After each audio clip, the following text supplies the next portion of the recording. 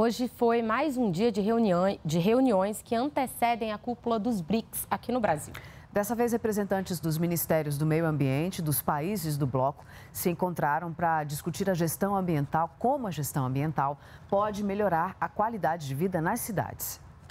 Se a selva é de pedra, a gestão do meio ambiente se torna um grande desafio. Os ministros do meio ambiente de Brasil, Rússia, Índia, China e África do Sul o BRICS discutiram temas ligados à gestão do lixo, poluição do ar, saneamento básico e biodiversidade no ambiente urbano.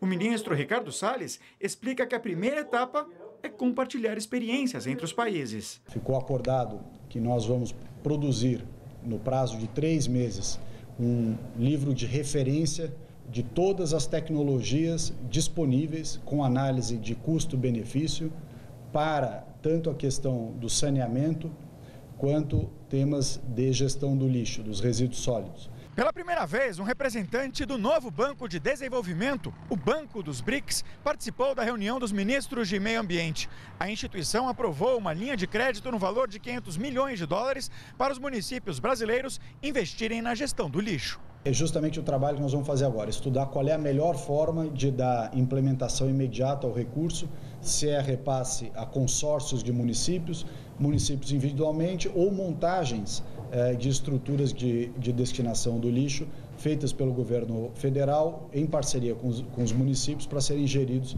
eh, pelos municípios no Brasil.